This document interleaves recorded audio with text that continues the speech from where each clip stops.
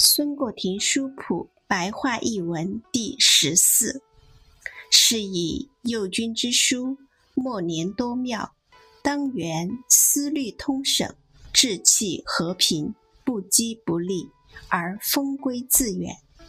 子敬以下，莫不古鲁为例，标志成体，岂独功用不谋，亦乃神情玄格者也。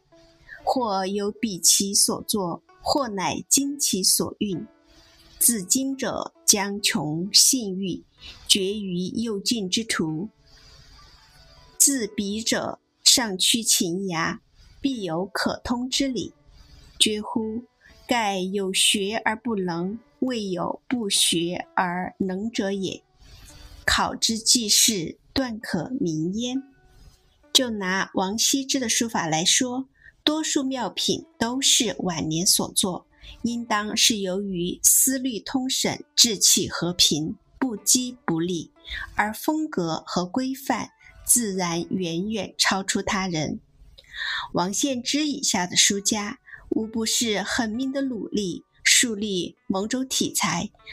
这不单单是技巧和使用上不能和王羲之等同，也是精神和感情相差很远的缘故。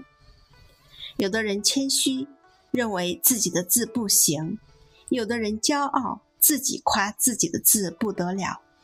自夸的人将被困在很小的圈子里，不可能有大的发展；自比的人只是屈居在某个阶段。必有到达终点的可能。